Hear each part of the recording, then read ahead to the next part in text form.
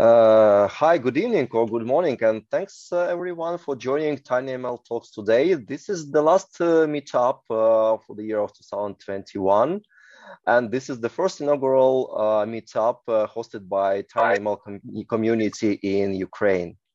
I'm Oleg Boguslavsky, and I'll be the moderator of the today's session. And the topic of the today's session is practical TinyML for industrial safety and personal performance monitoring. Uh, uh, the presenter will be Oleg Puzanov, uh, CEO of uh, Leantegra.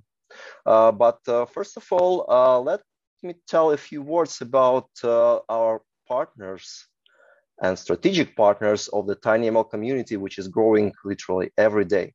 So our strategic partners are Aeon Devices, ARM, Deeplite, Edge Impulse, Emza Visual Sense, Greenwave Technologies, Groovity Incorporated, HOTG, Imagimob, Latent AI, Maxim Integrated, now a part of Analog Devices, company called Qeexo, uh, Qualcomm, Reality AI, Renesas, Rixon, SAP, uh, Seeed Studio, SensiML, Stream Analyze, Life Augmented, ST, SynSense, and Syntiant. And uh, we always have uh, additional sponsorships available. So you can write to Olga at tinyml.org for the additional information. As you can see, the list of strategic partners is expanding literally every month and every meetup.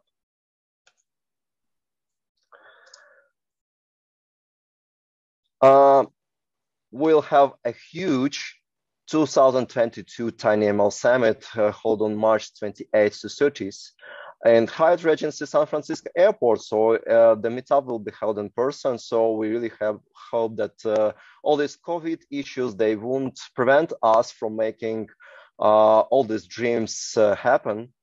Uh, the registration was open till December 15th, and uh, the deadline for postal submission was is already passed, so it was due to December 17th. But you still try contact uh, for the sponsorships options, or maybe if you have something really extraordinary. There are a couple of nominations, the best product of the year and the best innovation of the year. And uh, you can apply for these uh, awards uh, between November 15th and February 28th.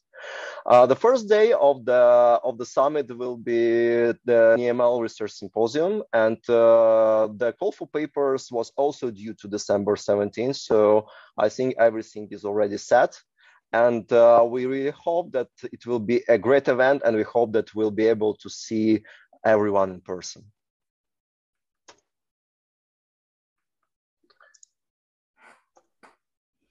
Um, as I mentioned, this is the last TinyML talks uh, for this year. So I would like to say very happy holidays to everyone. And the next event will be right after the New Year Eve on January 4th. Uh, the presenter will be Cedric Nugteren uh, from Plumerai, and he will be demoing the world's fastest inference engine for ARM Cortex-M. Uh, it will also start at 8 a.m. Uh, Pacific time, and uh, I'm pretty sure that uh, many of you would like to be to present on TinyML Talks. So you can contact talks at tinyml.org if you're interested in, in presenting. Let me tell you a few words about Ukrainian org, org committee. I'm, I'm very um, thankful to my colleague Sergei Kashenko, who is CEO at Yellow. This is a very big uh, uh, fast-growing uh, crypto community, yellow.com, uh, who helped to, to establish the community in Ukraine and actually to prepare the, the meetup today. And uh, uh, I'm, as I mentioned, I'm Oleg Boguslavsky. I'll moderate today's session. I'm a co-owner of, of, Data Science UA. Our company provides the variety of services around uh, data science, AI, and ML. So we do consulting. We are building offshore teams uh, for clients from EU, US, UK. Uh, we can uh, build literally the team of any size for for you who will do the software development, hardware development, whatever you may need. And essentially, our company builds the ecosystem uh, and with our local community of uh, machine learning engineers, which is more than 10,000 people in Ukraine, we are really happy to be partnering with the TinyML And uh, thanks a lot uh, once again for joining uh, mm, today's uh, today's meetup. And uh, now I'm very happy to present uh, our speaker today. coincidentally, he's also Oleg. So our speaker today is Oleg Puzanov. He's CEO and co-founder at Leantegra is working around 20 years in commercial IT projects and uh, companies. Uh, he is my colleague in the sense that uh, we, we both worked in the embedded area for many, many, many years. Uh, he has a great sports history in terms of Ironman and uh, ultra marathons and all the other things.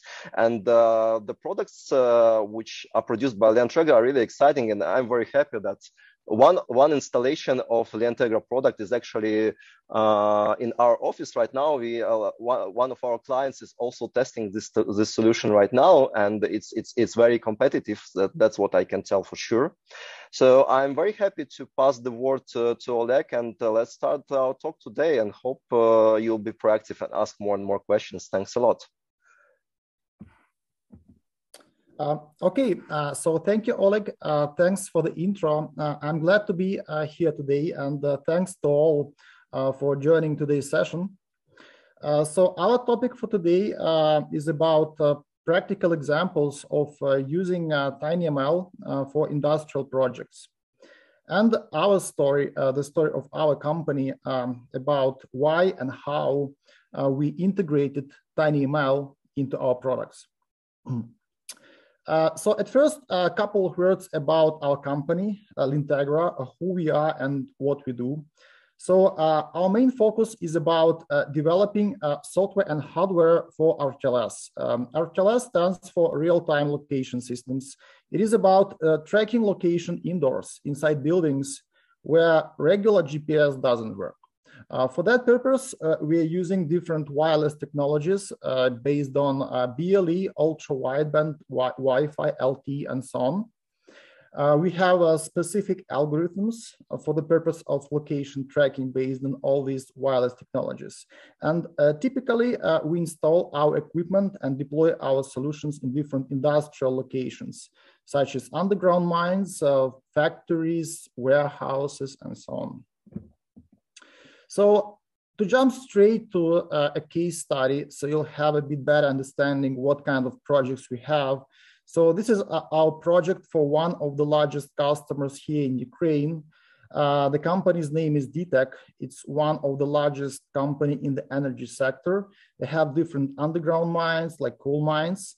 And our project, which was successfully deployed and launched, was about uh, 2,000, more than 2,000 BLE beacons and uh, 1,700 smart lamp devices, which are just advanced uh, cap lamps for miners. So all those devices were successfully installed and launched underground uh, inside the coal mine for the purpose of uh, employee safety for underground miners and uh, location tracking. So uh, we are tracking location with an accuracy of 10 meters, uh, doing telemetry for methane uh, and, and other use cases. So we, we used here our proprietary algorithm based on reverse BLE RTLS. And the main advantage here is that for RTLS installation, we did not require any cables. It was a very quick process. We just installed some BLE beacons and that's it. We had the ready RTLS solution inside the mine. Uh, some other names of our customers and partners, uh, typically we work through system integrators in different regions who help us uh, to install and to maintain uh, systems locally for the end customers. So speaking about uh, Leantegra hardware and software, here you can see some examples of devices which we design and develop. We have an in-house engineering team for hardware and software. So some examples here like um, ATEX BLE beacons, which are suitable for installations in highly explosive mines like coal mines, IP67 industrial grade BLE beacons, uh, RTLS anchors for ultra wideband and BLE, and some more specific and specialized uh, uh, devices such as uh, embeddable uh, locators for cap lamps based on LTE and Wi-Fi. And I want to uh, discuss uh, these two devices uh, in some more details because uh, the demonstration of using TinyML for our platform will be based on these two specific devices. So these devices are PCBs with uh, Wi-Fi or LTE and also BLE on board, which are embedded inside the casing or inside the enclosure of, of, of the cap lamp. So uh, this specific device, um, which I'm showing now on this slide, was deployed for one underground mine in Bulgaria. Uh, there was a private LTE network um, with um, which we deployed together with our partners. And this device connected to the private LTE network for data transfers. Plus, there were some BLE beacons which were installed inside the mine. And this device, it was collecting BLE signals for the purpose of location tracking. Uh, another similar device was based on Wi-Fi and BLE. Uh, the idea here is, is the same. Uh, some beacons are installed inside the mine. Uh, the device, which we call locator, uh, collects BLE signals, then applies some algorithms of location tracking and delivers location data using industrial Wi-Fi. By the way, uh, for the DTEK project, we also had the deepest uh, industrial Wi-Fi installation underground, which was more than 500 meters at the time. Uh, in addition to hardware, we also have software, just some screenshots for you to have basic understanding what kind of features and products we have. So this is our web portal. Uh, you can see that it has uh, mapping features to show location of assets and people on the map. Then you can search for people or assets using search box by uh, the name or by personnel ID.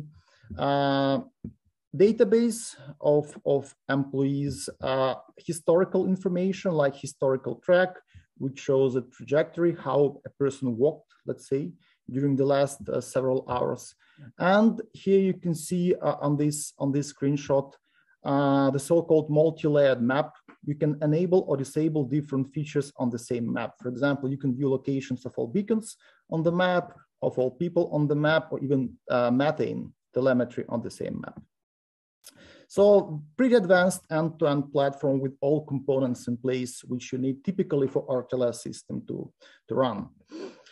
Uh, just to uh, summarize just a couple more slides about our company, and then I'll continue to the TinyML topics.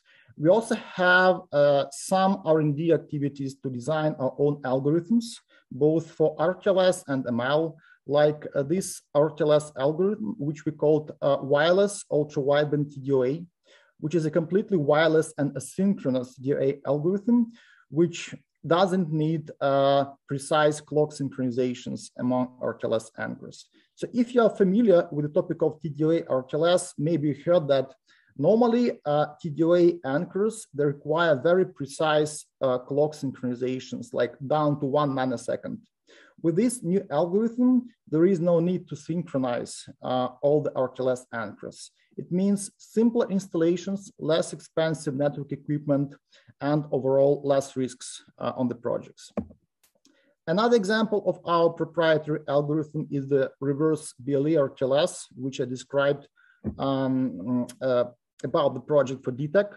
So it's a very simple, uh, from high level perspective, uh, algorithm, which is just a one dimensional uh, RTLS algorithm, which shows where you are positioned along the tunnel, right? But this algorithm and this system based on B reverse BLE RTLS, it has a very strong advantage that its installation doesn't need any cables. So less expensive, easier installation, you know, less risks for everybody. Now, I think this is it about our company and products. Uh, if anybody has any questions about Leantegra overall, our products, our TLS, then I would be glad uh, to answer.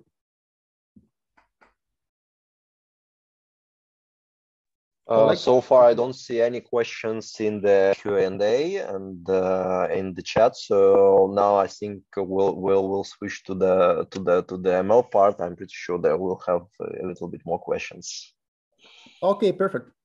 So let's start let's start with some basic theory about IMU. So IMU stands for Inertial Measurement Unit, or some people just call it accelerometer, but normally it includes some other components like a gyroscope, magnetometer, or barometer. Let's use IMU just as a common name. But what are the typical components or devices which enable motion tracking, right? Uh, the first one is accelerometer. I think many of us familiar or heard, right, about such kind of devices. It allows measuring uh, linear acceleration. Uh, there are different uh, small details which should be considered, like you should subtract the gravity component from accelerometer to measure uh, acceleration more precisely. And there is also uh, a detail which is called zero G offset, because some accelerometers, they might have different deviations from the perfect measurements. Uh, then gyroscope, it measures angular velocity, right? The orientation of the rotation of the device. Uh, magnetometer, uh, based on the Earth magnetic field, it can measure uh, the strength of magnetic field and orientation, right? Like a compass pointing north, south, west, or east. And the fourth kind of uh, device is barometer. It measures the pressure, right, and enables measuring altitude or height of the device.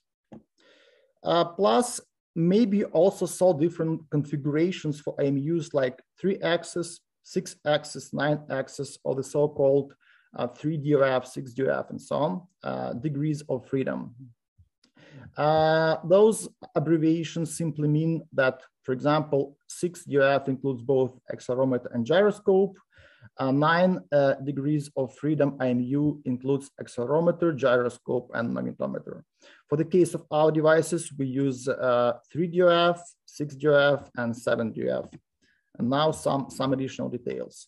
So this is what we use in our devices. We have both simpler and cheaper models for IMUs, like um, the one from ST Microelectronics, and more advanced and feature-rich IMUs from Bosch, both IMUs and uh, barometers.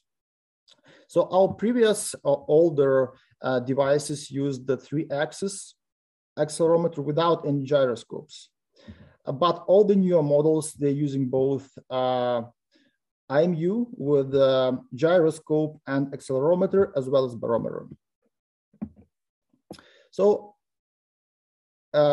IMUs are not just for uh, motion recognition, right? We have some other use cases and usage scenarios for IMUs, like uh, IMUs really help to uh, save battery for RTLS tags and BLE beacons. We have a feature on, for example, on our ultra wideband tags, which we call uh, adaptive transmission. So it's about changing the transmission rate for RTLS devices based on the presence or absence of the motion.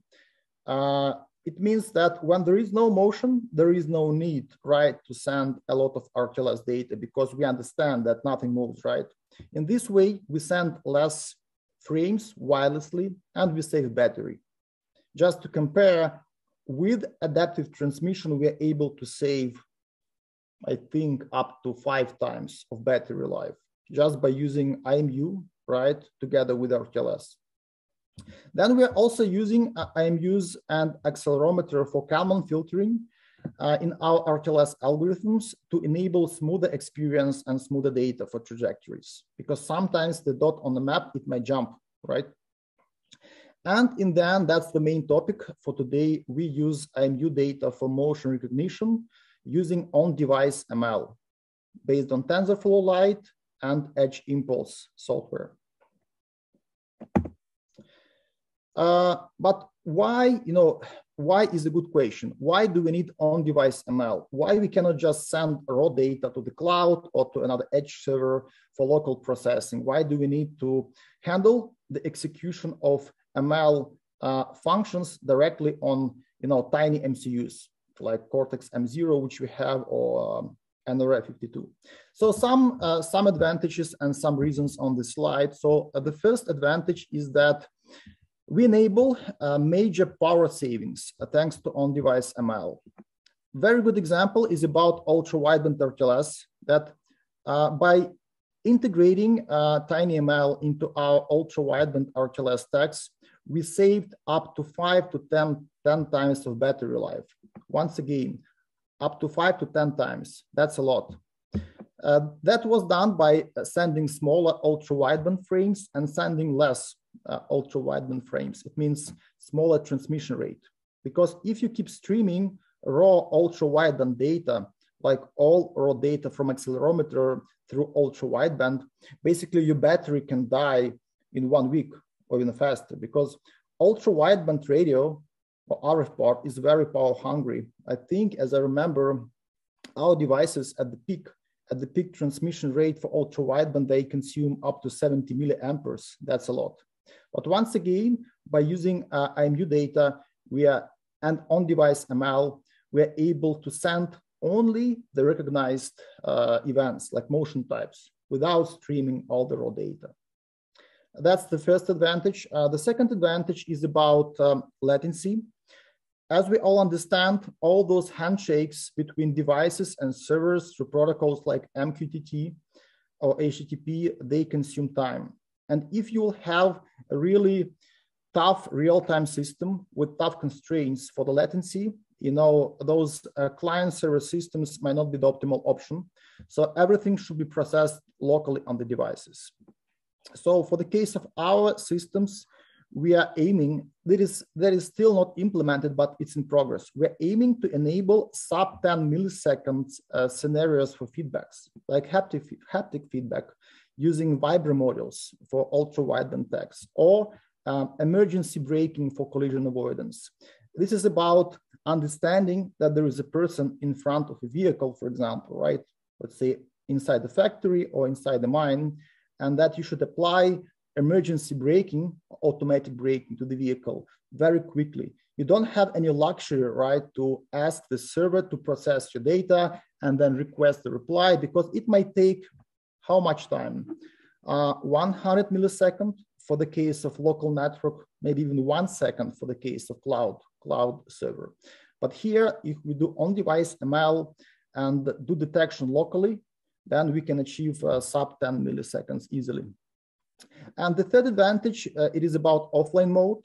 It is about keeping devices operational even without when there is no network coverage, like no Wi-Fi, no LTE, but still you need to enable uh, operations of your devices, right? Like it's important for life critical systems, plus sometimes you don't have coverage everywhere. Like our project for underground mine, it doesn't have 100% Wi-Fi coverage. I think it's like 80% of the mine is covered with Wi-Fi.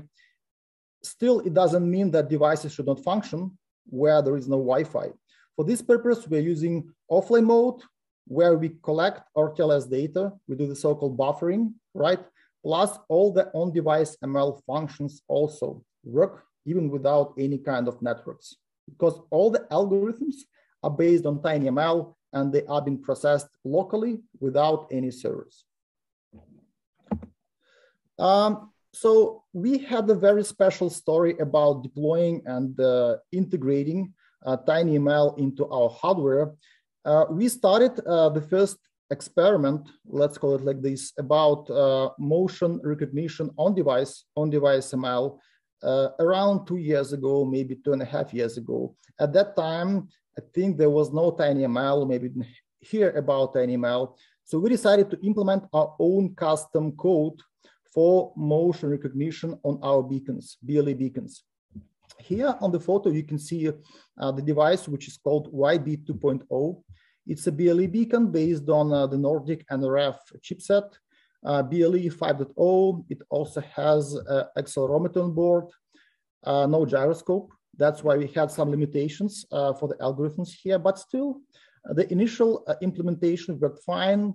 We didn't use vectors or any kind of orientation matrices here. It was a pure scalar uh, approach. We just took uh, the square root of all uh, acceleration values, subtracted the gravity value, and that's, and that's it. It worked fine no uh, standard algorithms here, no standard tools like TensorFlow Lite. It was a very simple, very small piece of code. I think it utilized k-means clustering, maybe the only part from standard formulas. Everything else was very custom. But still, it worked uh, completely on device without any kinds of servers. And here you can see a demo about how it works. So this is our office. Um, in the left corner, you can see uh, some logs from the device, which does classification of the motion here.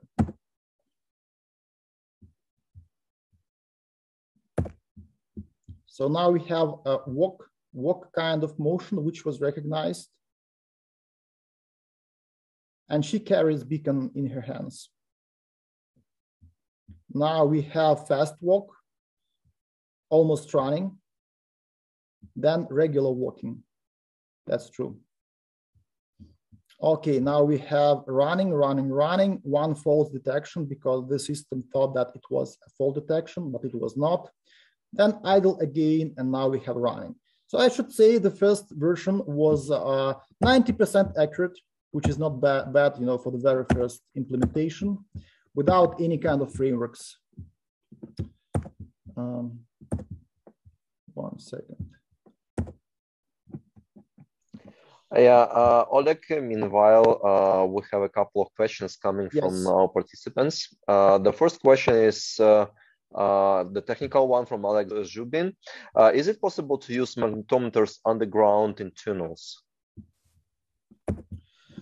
yes, it's possible.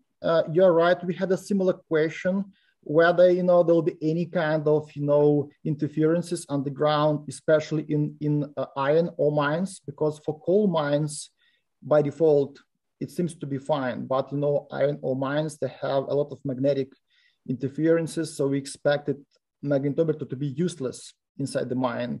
But according to our brief tests, it can be used, though we don't have any plans to use it. So right now, what we have is enough. I mean, accelerometer, gyroscope, and uh, barometer. Okay. Uh, the next technical question is, uh, uh what is the battery life of the of the BLE beacon? So I know the answer that it really depends on the mode, precision, and other things, but I let you to answer this question as well. So what's what's the approximate battery life for the BLE be beacons?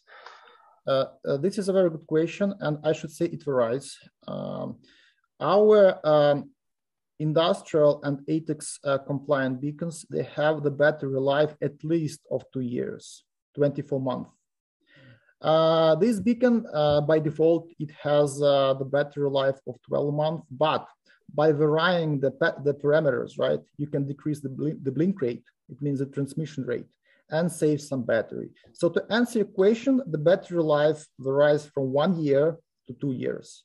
There are some other beacons on the market which claim five years or seven years.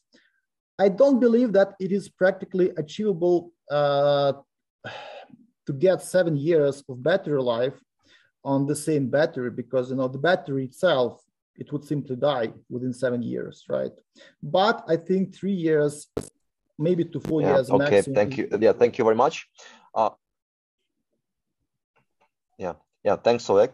Uh, one more question. Uh, did you try uh, LoRa instead of uh, Wi-Fi or LTE in tunnels? LoRa. Uh, LoRa, yes, I'm aware of the protocol, and we had such thoughts. So uh, why why we decided to use Wi-Fi? Because the customer requested also voice and video uh, calls are based on the same network, right? Not just telemetry from sensors, but also voice and video. And as you understand, LoRa and its throughput is not suitable for voice and video. That was the only reason.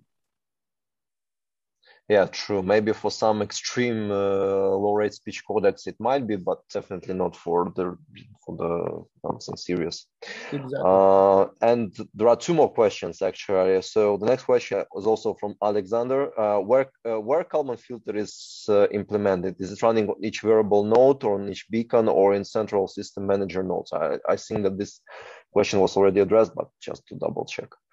So Kalman filter uh, relates to our RTLS algorithm, not to uh, motion recognition, because for motion recognition we are using uh, we are using uh, TensorFlow Lite without any kind of Kalman filters. But for RTLS, we have an edge server, a locally installed server using C++ and JavaScript code, right? It gets raw data from RTLS anchors, right? And applies Kalman filtering for data processing. So to summarize, the current version of our system has Kalman filter on the edge server, not on the MCU devices.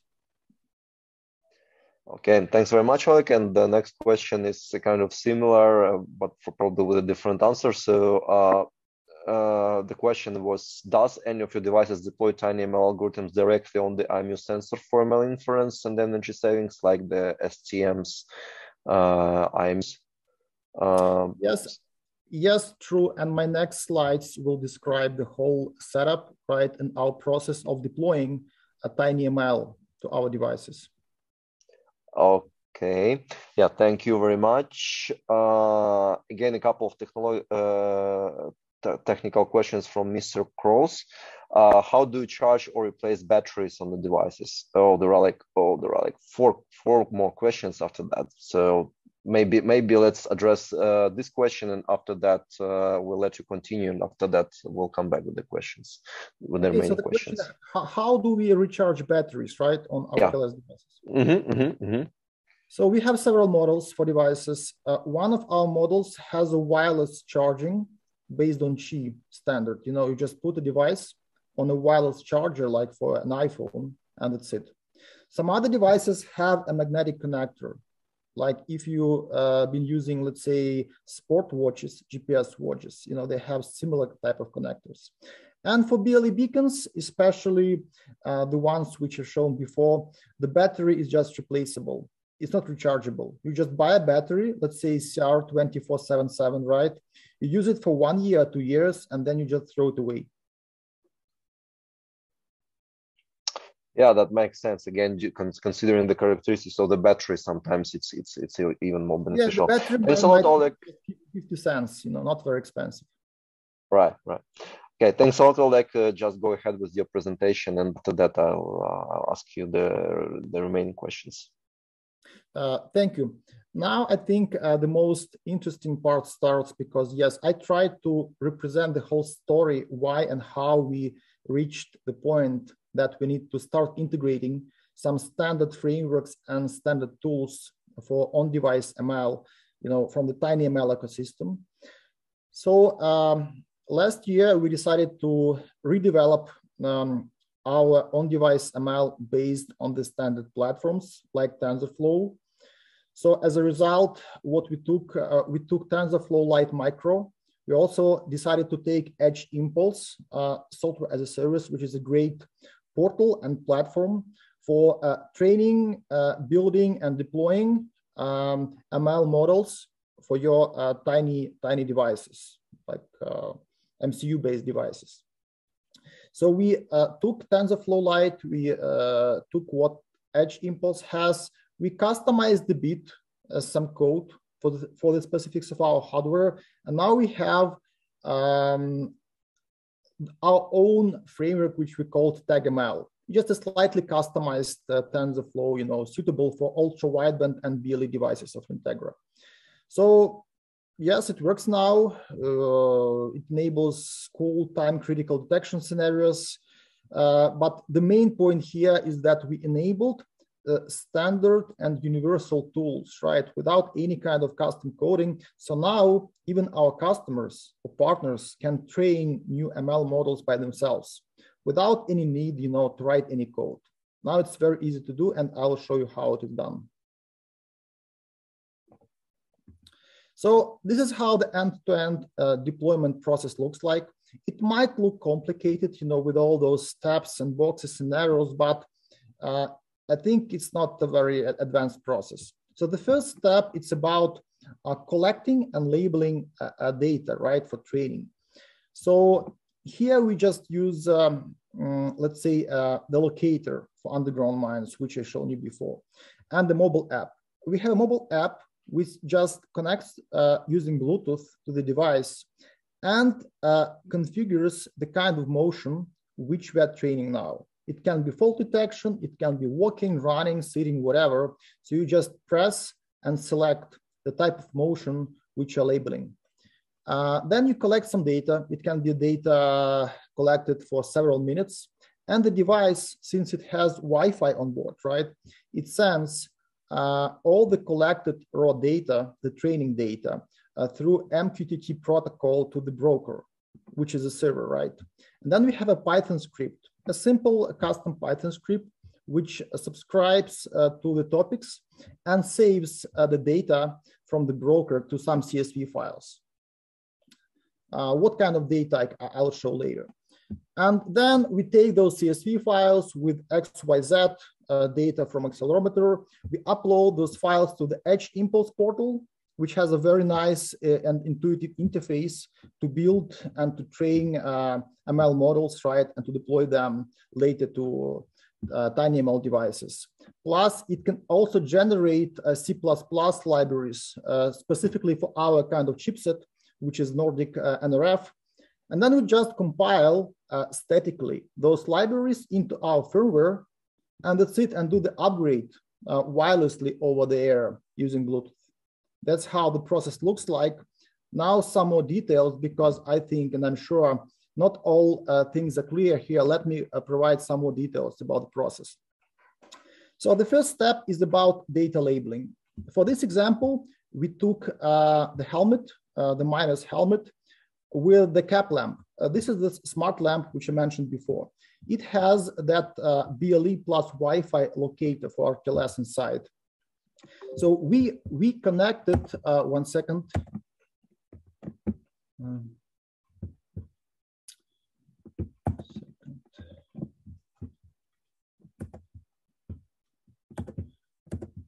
Okay. So uh, we, we connected uh, to this uh, device using a mobile app and simply set the parameter uh, for the label. It can be again running, falling, walking, whatever, and collected some data. And then this data is being sent from the device through MQTT. You can see some examples here, just draw XYZ uh, data from accelerometer and all this data has been labeled for this example as fall detection, fall. So here we have two classes of motions, fall and idle, right? Which we get as a result of collecting data from the device. Uh, then we open Edge Impulse, a web portal. Again, very nice uh, software. I highly recommend this, uh, you know, for uh, TinyML uh, deployment purposes. Then we build the so-called pipeline in the Edge Impulse. The first step is about uh, time series data, which comes from CSV files. We select different parameters here, like window size. Again, uh, the whole data is several minutes, but we need to define the window size. Based on our experience, the right window size is around two seconds, two or three seconds, which uh, is suitable to identify typical motions such as running, walking, falling, and so on. Uh, the second step, step is about spectral analysis. It's about converting time domain data to the frequency domain using, you know, uh, FFT uh, transformations and so on. Uh, after the second step, uh, we get some features which are automatically generated for, for the learning phase based on neural networks. So from spectral analysis block, we go to neural network block based on Keras. And then that this is where all the magic about uh, model training happens. In the end, we have uh, the model, which can be tested and validated directly here in Edge Impulse. You can see the sample screenshot, um, some classes, how they are separated, right, on the plane, very clear separation between fall detection and idle mode for the motion. Uh, the accuracy is 98.9%, very good for this example uh, yeah, and, and this is it. It's, it's, it's a very uh, simple process. The next step is about selecting our hardware chipset, which is again Nordic NRF52. We generate C++ library, which is just about matrices, right? Some variables with matrices. And then we compile that C++ library into our firmware. And we are done. Uh, in the end, you can see as a result, the device uh, sends um, RTLS data to our web portal and the data is visualized. So in addition to RTLS data, like a dot on the map, we also uh, display uh, the motion type here. So here it is uh, walking, or it can be falling or idle. So this is how it works. So nothing complicated, but I think now we have a very standard and clear process and approach to train and to launch models for motion recognition. So any questions at this stage?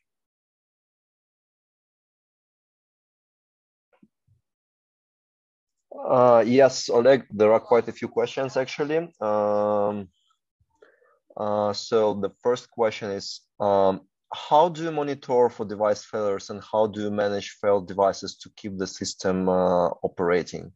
And uh, I think that the device, uh, the, the question associated with that, do you have to comply with regulatory standards for your devices like OSHA in the US, for example?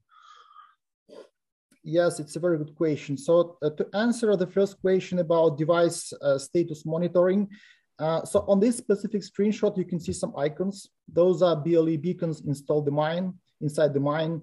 You can see some beacons are displayed as red, some beacons as green. So the green beacons are the ones which um, sent any signals recently, right?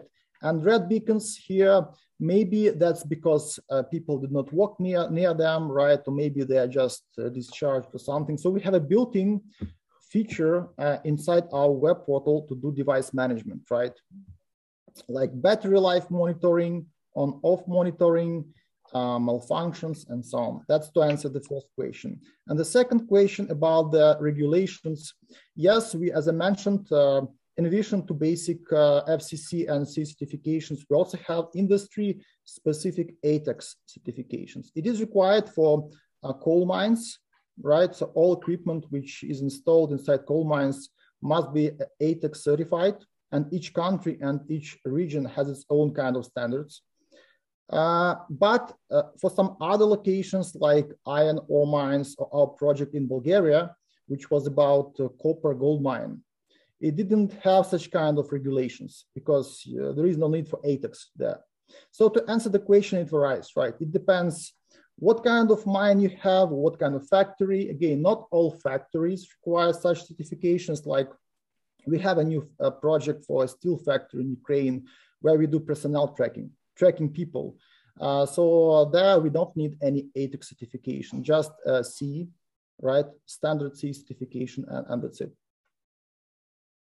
Okay, uh, thank you very much. Uh, the next question is, uh, I think it's also addressed in the presentation, how do you deploy new software versions on all the devices? So uh, I think it was on one of the slides. Uh, yes, if possible, let me, uh, yes, Oleg, I'm trying to enable full screen mode, but somehow it doesn't work. One second, please. Okay, yes now I'm yeah I'm back. So sorry about this. I'm trying to go get to the right slide. So uh, regarding uh, the firmware upgrades one second. Yes uh, so uh, all our devices they're upgradable over there. So uh, devices like BLE beacons or RTLS tags, they support a BLE upgrade.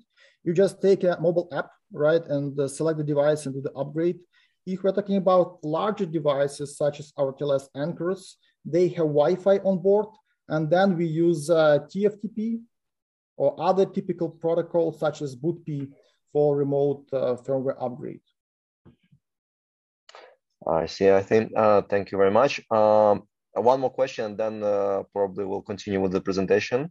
Uh, so do the devices store data locally and then upload it to the local edge server for analysis when the connection is made?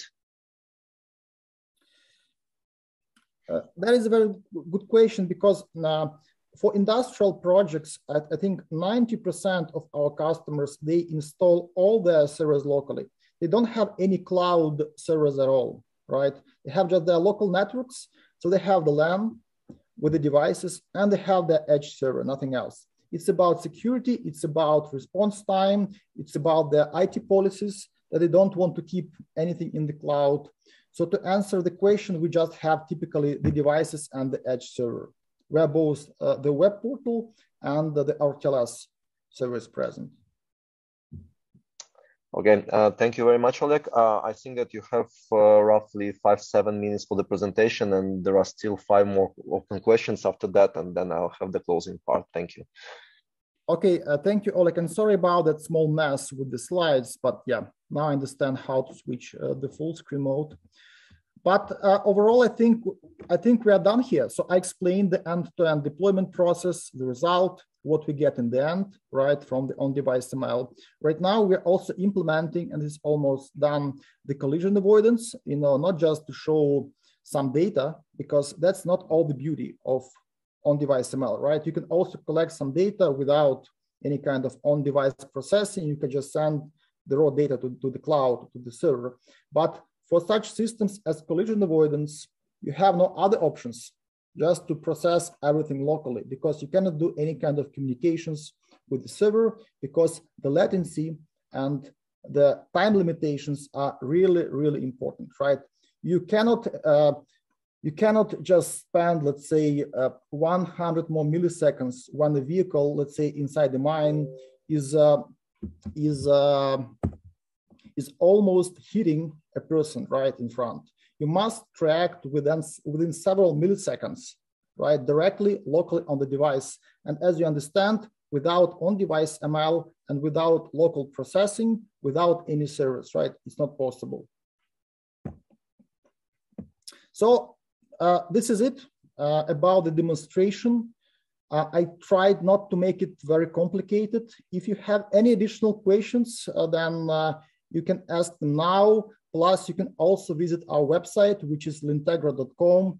And also, I would be personally glad to answer any kind of your questions if you will drop us an email at this um, address. Uh, thank you very much, Oleg. Uh, I, I, must say that that was an excellent presentation. And for example, one of the comments in the chat from Mark Donaldson is, is that this is the masterclass on TinyML solution implementation. Really enjoying the presentation. I think that thanks, uh, Mark, a lot for these kind words. And uh, we are grateful to for all participants. And there are quite a few questions remaining. So there are six more questions to address. So let's try to answer them as quickly as uh, possible. So first question from uh, Mr. Kroos, uh, what product do you use for your MQTT broker? Uh, this is a very good question. So we we uh, reviewed several options for MQTT. Uh, one of them was about Mosquitto, an open source broker. Uh, but um, many of our projects, they have the so-called QoS2 level. Uh, it's about a guarantee for delivering messages at least once, right? So if you're familiar about MQTT, then you understand. If not, it can be easily uh, discovered. But only Verne MQ uh, broker had this had that feature in place. So we had to select Verne MQ, but still we are very happy. It's very stable, feature-rich broker. So we deployed it, I think, at least on 10 different projects. So once again, it is called Verne MQ. So nice, nice okay. option uh, for the broker. Yeah. yeah. thank you very much. Uh, next question are a little bit more detailed regarding the implementation. So how much da data you had to collect for the training uh, production ML model? Was it like hundreds or thousands or more samples? Uh, so for the case of uh, people activities, it is rather about uh, the amount of samples which one person collects. It's about how many people were collecting the training data. Because especially for the case of underground mines, different people carry their helmets in different ways, right? Some people are not even fixing uh, the, the headlight on the helmet. They, they might just hang uh, the lamp, you know, somewhere on the neck and we must also consider such kind of scenarios. Plus, you know, some people might rotate uh, the helmet a bit, and it all impacts the accuracy of recognition. So to answer your question, it's not about the breadth, right, and collecting, you know, 1 million of samples. It's about giving the tools to not just one person, but several people, and to consider all typical ways how people can carry the device. Okay, uh, thank you very much, Oleg. Uh, by the way, right now, uh, all participants, you see the poll uh, where you can feel the feedback about about the session. So please uh, fill uh, this poll, which appeared via Zoom to you. And meanwhile, we continue to ask the questions. so one more question from Alexander Zubin. So what what is the size of data vector for the FFT conversion? Was it 128 or 256 or 512 samples? FFT. So what what's the size? Oh, let me get back to that slide because maybe I cannot recall it. Uh, now from uh, so one second. The vector for the FFT. Oh, the frequency. It was uh, so. So since we are dealing with low power uh, devices, right? And we cannot afford luxury of, you know, 50 hertz or 100 hertz or more for accelerometer. We have two modes. We have the default mode, which is 12.5 hertz, right, for accelerometer. And we have 25 hertz, a bit more advanced. And as, as, as we see now on practice, this is enough. Yes, ideally, the more frequently you collect the data, right, like 100 hertz, 200 is better, like the accuracy is better. But you, you must also consider the battery life and find the right balance between the accuracy, right, and the battery life. So to summarize, based on our experience, using 12.5 or 25 hertz for accelerometer data is enough for typical motion recognition purposes. Well, thank you very much, uh, Oleg. Please also give me the control. And the next question is, uh, uh, what is the typical model size for this application? How much memory is uh, uh, typically required? So it's a very good question, actually. Uh, I think we have some numbers here, even in terms of RAM memory. I mean, it's several kilobytes. In terms of flash, um, yes, so we have some numbers. Peak RAM usage is almost two kilobytes and flash usage is 12, 20 kilobytes. Pretty suitable, you know, for, for uh, mid-level MCU right here. I see. Okay. Uh, thank you very much. Uh, the next question from uh, Mark uh, Mark Donaldson. Uh, your devices deal with human assets and human safety for RTLS. Uh, so do you plan to incorporate 5G in your future releases? Actually, we already have one ongoing project about 5G based on Quectel modules, 5G Quectel. Uh, I cannot disclose that much of details because of NDA, but yes, yes, yes, we have some plans to use 5G, not for uh, indoor positioning because uh, ultra wideband RTLS has a better accuracy than 5G. Ultra wideband has 20 centimeter accuracy and 5G has several meters, maybe one meter, but not better. So for data transfer purposes, low latency data transfer, yes, 5G is good. For RTLS itself, 5G is not uh, the best option for now. Okay. Thanks, Oleg. And uh, the last question for today, and please give control over the presentation in uh, in, in Zoom. Uh, so the, the last question is for collision avoidance, uh, all moving vehicles should have beacon mounted and all people in the tunnel should have wearable beacons, right? So I assume that there are some other parts where you install the beacons besides the moving parts and people.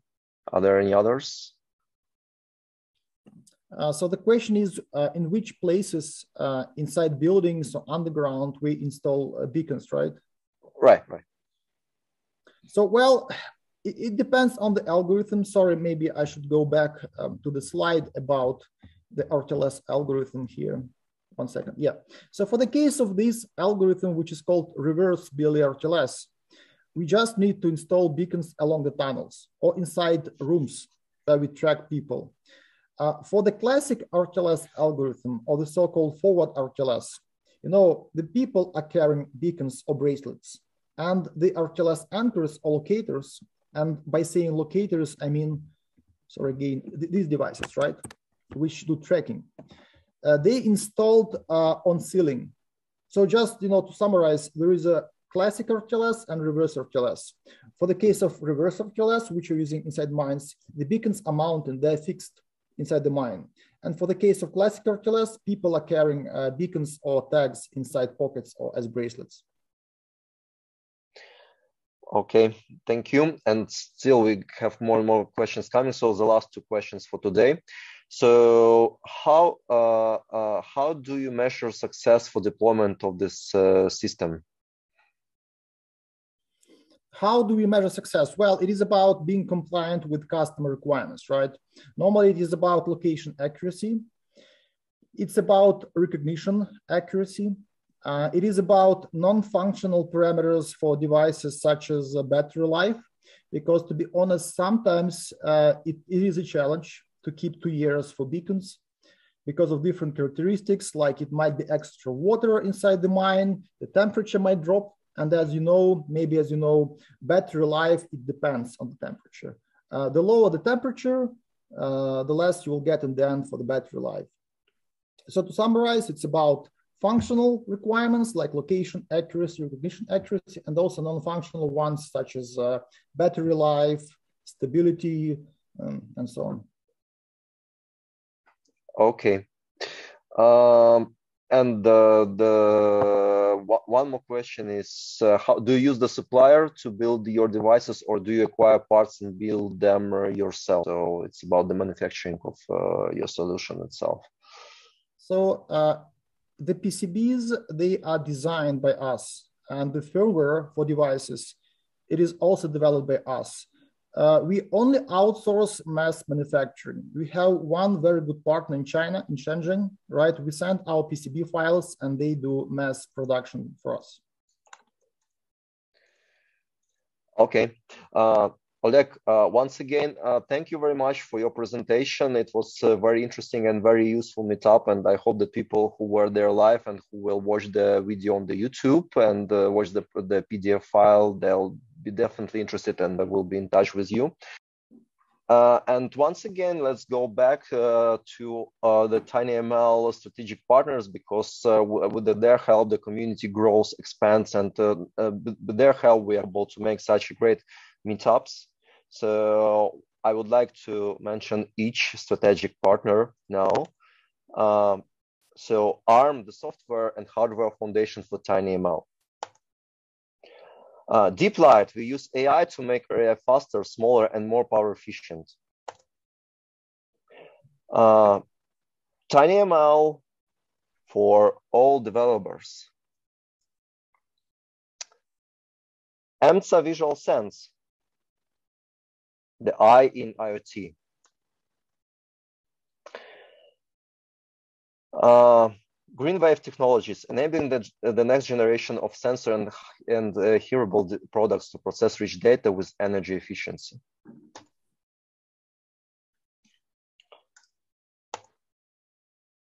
Uh, Incorporated, software development services for TinyML service. ARM partner, by the way. Uh, HOTG, distributed infrastructure for TinyML applications. Latent AI, adaptive AI for the intelligent edge. Maxim Integrated, now the part of analog devices. So Maxim Integrated, we're enabling edge intelligence. Qeexo AutoML, automated machine learning platform that builds tiny ML solutions for the edge using sensor data.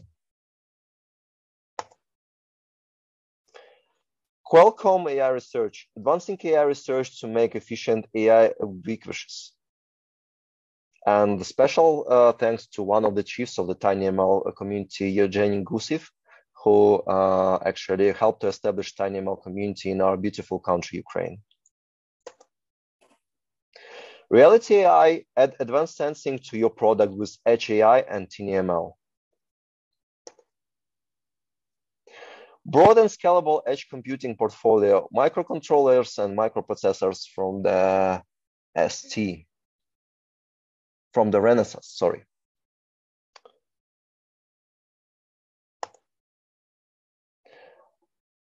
Seeed Studio, the IoT hardware enabler. SensiML builds smart IoT sensor devices from data. SynSense builds sensing and inference hardware for ultra-low power embedded mobile and edge devices.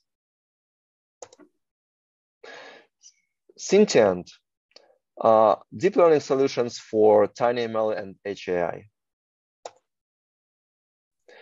And I'd like to remind to everyone that next TinyML talks will be in the next year on January 4th from uh, Cedric Nugteren, software engineer from, from Plumerai uh, he will be demoing the world's fastest inference engine for ARM Cortex-M at 8 a.m. Pacific time as usual.